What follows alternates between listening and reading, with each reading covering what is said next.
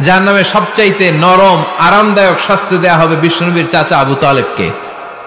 নাম শুনছেন? ওনার চাচা। আজীবন বিষ্ণুনবীকে অনেক সাহায্য সহযোগিতা করেছেন। এই জন্য ওনার শাস্তিটা হবে জাহান নামের সবচাইতে হালকা এবং পাতলা। হাদিসে এসেছে ইউ দাউফি আখমাসি কাদামাইহি জামরাতান। তার পায়ের নিচে দুইটা জাহান্নামের জুতা পরিয়ে দেয়া হবে। ফাইয়াগলি বিহি দিমাগু। ওই জাহান্নামের জুতার আগুনের উত্তাপে তার মাথার মগজগুলো গলে গলে নাকের ছিদ্র আর কানের ছিদ্র দিয়ে টপ টপ করে বেয়ে বেয়ে পড়বে। এটা হচ্ছে সবচেয়ে সহজতম শাস্তি জাহান্নাম। আমরা কেউ জাহান্নামে যেতে চাই? কথা বলেন?